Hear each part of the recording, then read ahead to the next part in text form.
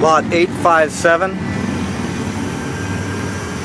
Originally made for the city of Turlock, as you can see there. The design on the side can be turned around, of course, but is a trash can or planter you could use. Item 857.